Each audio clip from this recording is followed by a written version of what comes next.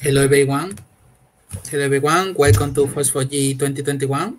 This is the afternoon of Thursday in Human Hackathon. And next we will be having Ivan Sanchez. We have, yeah, I have a very technical or very academic sounding uh, talk. If you want to say the name, Joshi. yes. Techniques for representing Untile GIS data in WebGL GL uh, structures.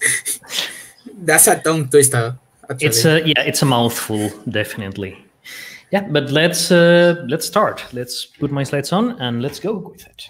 So, hi everybody, I'm Ivan. I'm doing WebGL things. Uh, I want to say that this talk is going to be heavy on the computer science uh, part of the of the GIS component. I'm I, this is going to be hard to understand if you are more of a natural sciences person. Uh, again, be advised. This has some hardcore computer science concepts uh, thrown in. Uh, this is not the first time I do a talk like this. I realized looking at my archives that I did a similar one back in 2016, where I just explained my what I learned from fumbling around and trying to make WebGL work. So if you have the time and curiosity, it's a good idea to uh, to look into video archives for the FOSS4G in Bonn and watch it. Okay, so a bit of context. Uh, I have been doing leaflet maintenance for a while now, since I was kind of upgraded to a maintainer because I was doing some bug fixing in the core. And these days, this is my personal opinion. I want to remark it's a personal opinion. It's okay if you don't think like me. I'm pretty sure that the open layers folks think differently, but this is my personal opinion. Uh, Leaflet, I can understand it from the from start to end. Uh, I just can do HTML elements, work with them, mess them around.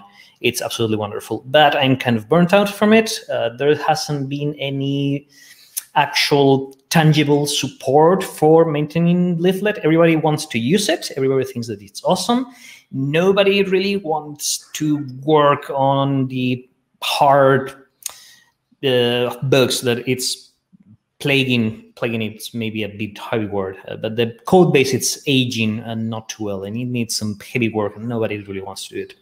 Now mapbox has the mapbox gl2 library but mapbox has been losing a lot of uh, FOSS karma. In 2021 they uh, closed sourced uh, mapbox gl2 they have also uh, some union busting uh, rumors, which are not something too good.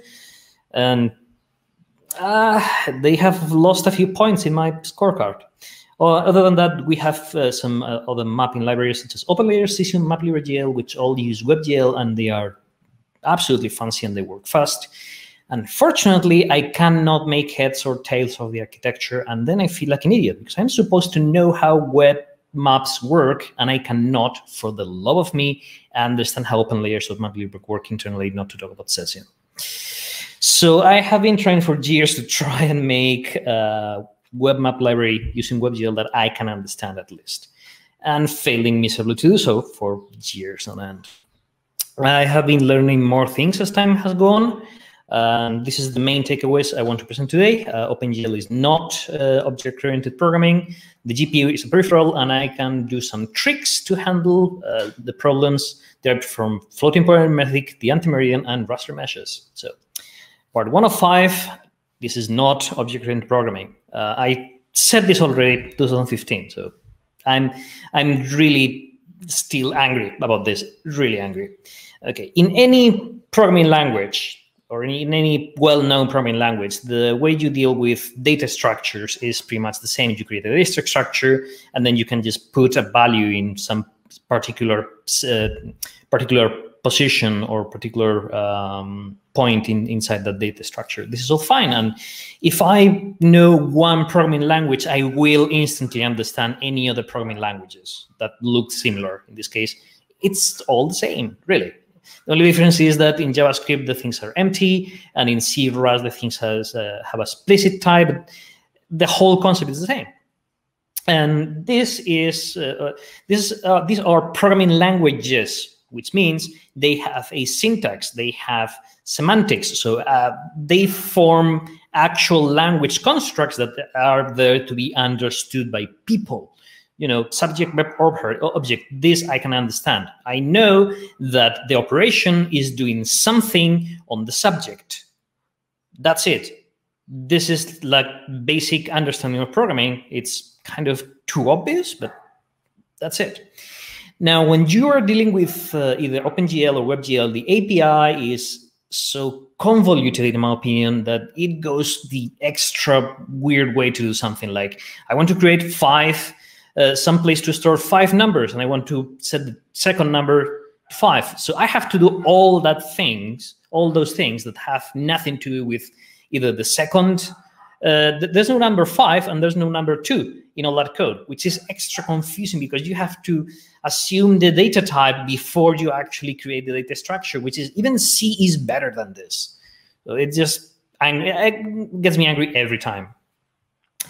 Uh, so if we think of programming languages as languages, and I look at this specific um, sentence, this specific uh, yeah sentence, what is the subject in that sentence? Because that's gl.buffer subdata. So I'm storing some subdata in a buffer of that context, but that buffer is an entity in itself. I have created a buffer uh, just before with this thing, and I have stored it in, in, in, in this variable. So why not using that thing instead? Why I have to bind the buff and then say as active and then do operations in that one? It just doesn't make any sense to do an operation in something that is completely unrelated. That breaks encapsulation. It uh, it just it's bad. It's not an object. People in the in OpenGL books and uh, literature call a buffer a vertex buffer object with the O at the end. And I say this is not an object. This, this does not feel does not follow any of the object or object-oriented programming guidelines or concepts. It's incredibly confusing it's a syntactic sugar problem. It's not a hardware problem or architecture problem. It's syntactic sugar. A compiler can take care of this. However, in my personal experience, every time I try to complain to the OpenGL people about this fact, you know, with a proper academic discourse about lack of encapsulation in WebGL structures is kind of cumbersome, and I would like this to be other way because this is the response I get: direct mode. Dude, you don't understand this because direct mode is good. And he's like, I don't even have the time and energy remaining to explain that this is not about direct mode, it's about syntactic sugar.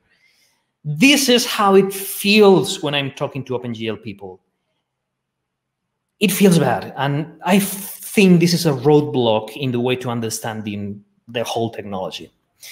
So in the end, I made a whole abstraction library to try and overcome these problems. I'm going to put a link there so you can uh, see if you, uh, if, you have the time and curiosity for it. Uh, so instead of having a buffer, which I just will do crazy things with binding the active or whatever, I can define a data structure which makes sense. I can understand this. This is a, a variable size data structure with uh, in which every of the items is a three vector component. So I can store a three vector component in any um, in any position, which this has a proper syntax and a proper semantics. Okay. Part 205. Oh my God, how have I eaten already eight minutes? I am doing bad. The GPU is a peripheral. Uh, this is this is uh, this has to do with how memory is handled by computers. Uh, anybody with knowledge about computer science knows that there's a thing called memory hierarchy because different types of memory technologies have different access times and throughput and capacities. Well, capacity is really a function of price, really, but you know, you cannot have a million dollar RAM chip everywhere. So this is how it usually goes. CPU registers are, like maybe 10 to 20 numbers. Uh, so, so you can understand me. L1 and L2 cache is a it's a few thousand numbers. Then you know RAM it's a few million or a few uh, milliard and then you have hard drives, which is as much as you can afford because it's kind of inexpensive. The interesting thing that I want to focus on is that accessing the different kind of memory have different times. This is the latency. I'm not talking about throughput. I'm talking about latency, which is the time uh, the time to reach that uh, that part of hardware and then come back with the result. These are typical times. I like to put it here because I can see the um, the uh, magnitudes in a better way if I just uh, align everything. Uh, there's jumps in the magnitude when you go from the CPU to outside of the CPU chip into the RAM, and then another very big jump when you go outside of the RAM and into actual um, permanent storage. Uh, this is important because we computer scientists know that if we're handling things in memory, it's also it's really fast. Uh, memory packs come uh, efficiently. There's something called the spatial cache uh, neighborhoodness. I forgot the name, but it's when you are uh, storing things uh, next to each other in a data structure, it all hits cache, and you don't have to go to RAM. You hit L1 cache, and then everything uh, is ejected together. So it's this is this saves time. You can even assume lower numbers for that.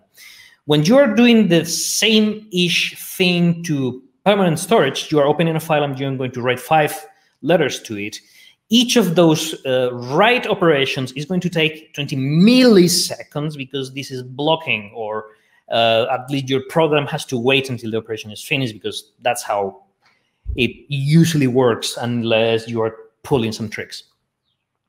Even though I'm doing technically the same, which is storing five values in a data structure, the fact that one of those data structures relies directly on a different hardware technology has a direct impact on how much time you spend doing those same five uh, operations. So you know it's way better if, instead of putting one uh, five letters uh, in five consecutive actions. It's way better to concatenate all those five letters in memory, uh, and doing that concatenation will take some time and will take some. Uh, time to write it in memory, but it's way faster because you only did one slow operation, which is the important thing when you're dealing with latency. You have to pack things and prepare for the bus transfer and stuff like that. The important thing here is that the GPU is a peripheral. It is connected to a bus in your motherboard. It has a higher latency than your RAM. So every time you are storing one value in the GPU memory, you have to go all the way and back, uh, especially since we're using WebGL. WebGL has an extra constraint which is you uh, you cannot do this asynchronously. You cannot queue this. Uh, whenever you make a call, you have to wait for the, call result. So this latency is real. Uh, so when dealing with WebGL specifically, when you're going to store some pieces of data in several positions, which by the way are not 0, 1, 2, 3, 5, it's 0, 4, 8, 12, 16, because each of those you have to know in advance that they are 4 bytes each. Fun. There's the possibility of typo just explodes. Uh, the the one at the um, left is five times slower than the one at the right. Even if the one at the right involves doing more work in RAM, it will have only one problematic or one slow operation. Uh, in other words, if I'm using my fancy uh, understandable library, instead of doing six operations to store six different three component vectors, I would like to do one uh, store operation. So this will shave time. Um, I think I'm I'm not gonna be able to show this. Uh, it's possible to do some timings in the browser with two of these different approaches. Um, when I'm doing this approach, I'm going to do which is the one from the. I don't have the coastline example open. I don't have the coastline example open. I want the coastline example because I did this yesterday. So if I'm loading a big data file and then I'm adding all the symbols together, is way faster than if I would be adding the symbols one by one, because in this case, I will be calling this thing a lot of times, and each time I add something to the map, it will write into GPU memory, and that starts being slow. So it's important to cache and put together all the things you can in advance. Okay, uh, well, I just showed this on the code editor, so I'm not going to mention anything except that map has several meanings when you're dealing with functional programming in GIS. Um, by the way, I am very angry at the amount of meanings of the word layer. I hate that you can layer a layer of a layer in a layer of a layer. So yes, we're doing maps of maps. Why not? Floating point arithmetic.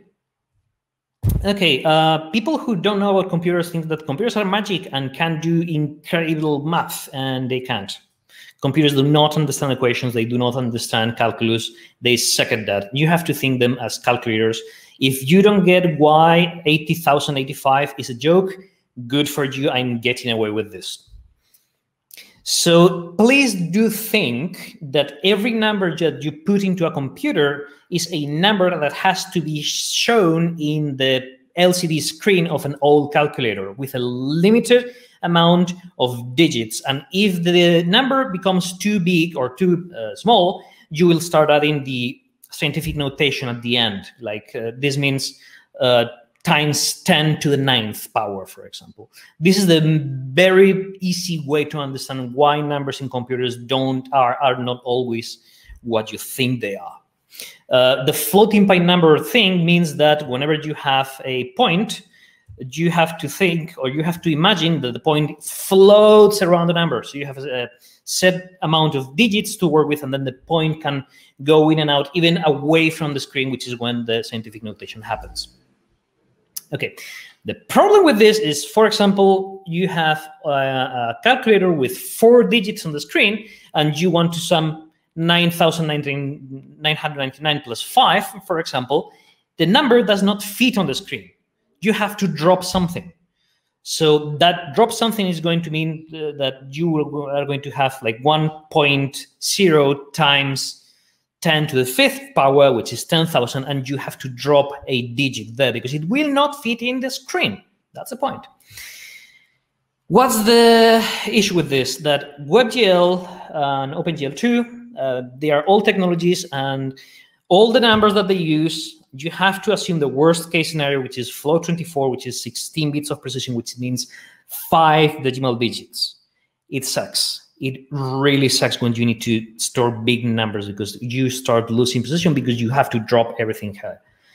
Uh, in JS specifically, um, in uh, I guess you know where this monolith comes from, and those are the coordinates in UTM. So if I want to store those UTM coordinates in a WebGL buffer as floating point numbers, I will have to drop some digits. I can only store 4.8 digits. I'm going to round that up to five digits, some precision is going to be shaded around. So I cannot store the um, precise position. Uh, this is not accuracy, this is precision, which uh, precision and accuracy in different terms. Uh, I will be dropping at least 10 meters of precision from the longitude and at least 100 meters of precision from the latitude. No, I'm dropping 5 and 50. I'm dropping the half of it because I'm rounding up things. Anyway, it's bad. How can we work around this? False easting and false northing. This is the wonderful, crazy idea you have to keep in mind. Instead of just storing the original coordinates, you create, you create a different coordinate reference system, which is the same reference system that you're using, but with a different easting and northing, or false easting and false northing. And in, in this case, I can say, hey, my false UTM 21 south is going to be it's going to have a false northing of 300,000 and a false easting no the other way around a false easting of 300,000 and a false northing of 6.1 million. And in that case the numbers i have to store are can fit within the precision limit and i can work with this. Um, i will try and show this really really really fast uh, here. This is an example with uh, this is the two example. Come on, this is the offset example. I'm just storing things around this number, which is the magic crossing point of, of the um, of the position limit. So if I do not do any fixes, this is how it will work. The data starts to clamp together and uh, things start to not work as you expect and the uh, polygons start to look jaggy and things are not good. This is how it should like. Every pixel should have the same difference between them. This is how it starts to look like. Things clump together. Your uh, arithmetic starts to round up in weird ways, and your map displays wrong. And that's a problem.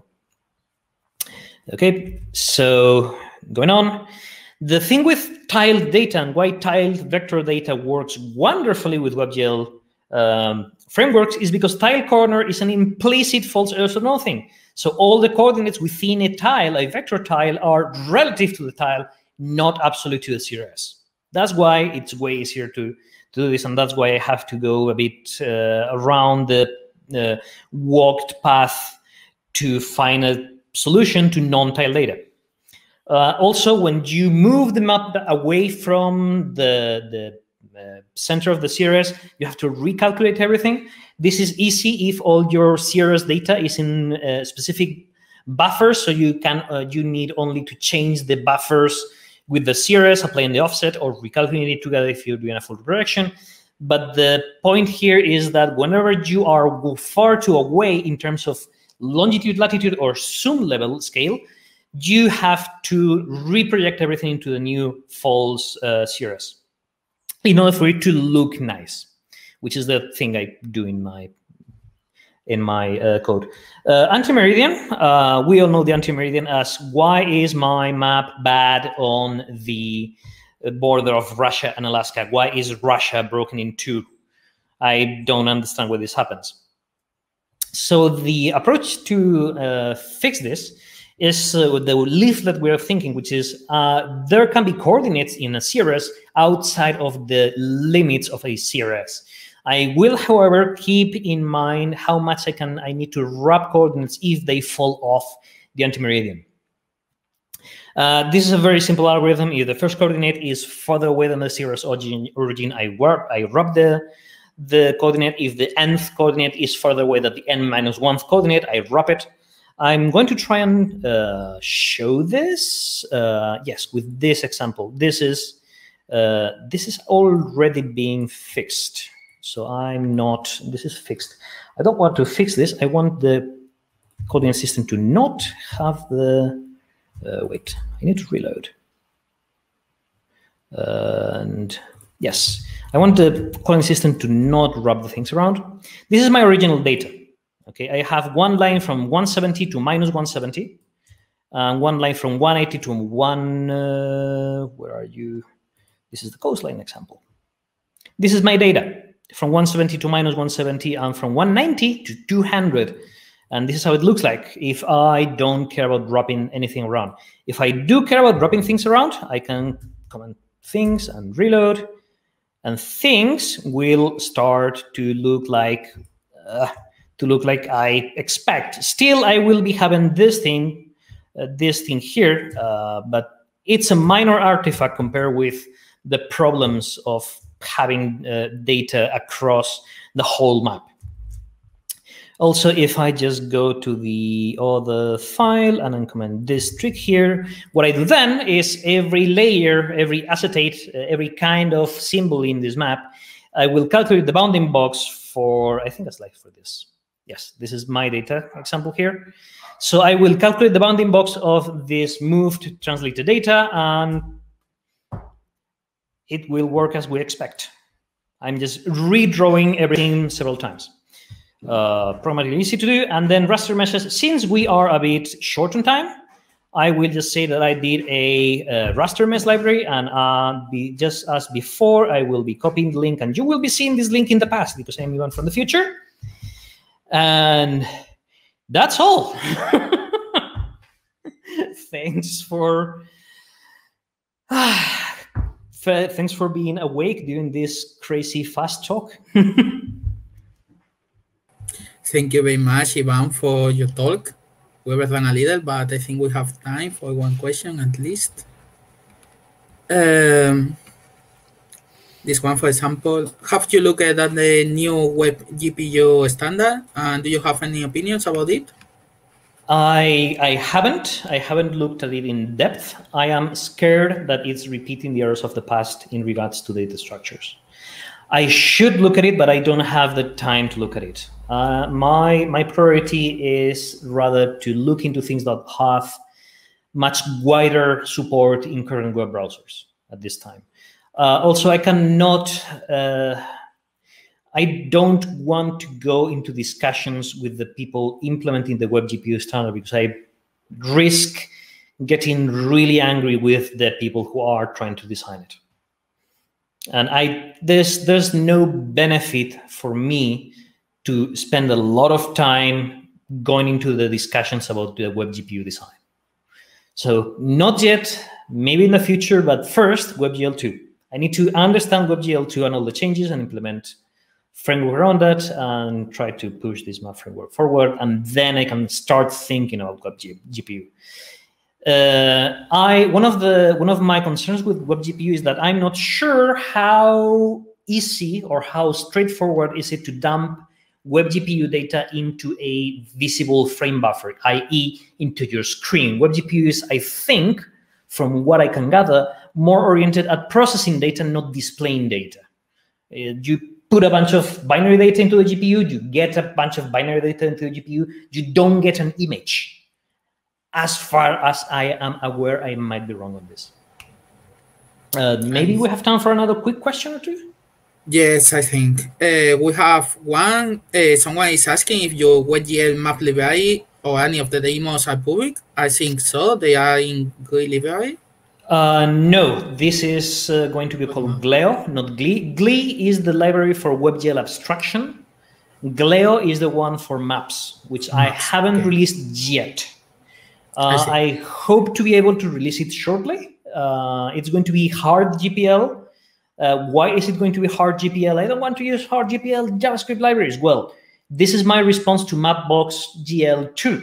I don't want uh, I am angry at Mapbox GL2 being completely closed source. So my response is, okay, I'm going to just throw a tantrum and license all my stuff as hard GPL, even for JavaScript. So uh, if this decision of mine is not okay with you, I will be happy to let you try and convince me why I should do something different than GPL, as long as it has some benefit for me which at the moment I don't think it has, or nobody has given me any um, well put together reason for this. I see. Well, I'm sure that people can find you in the conference and can discuss yes. it with you. Uh, um, in the um, links I pasted in the conference chat, you can find my contact details if you want them. So thank you. Okay, perfect. Thank you for your talk, Ivan, and we will be seeing you in FOSS4G. Bye bye. Yes. See you soon. And now we will be setting up the stack by by by sorry by Stelios Binalis. Uh, it will start in four minutes. So see you soon.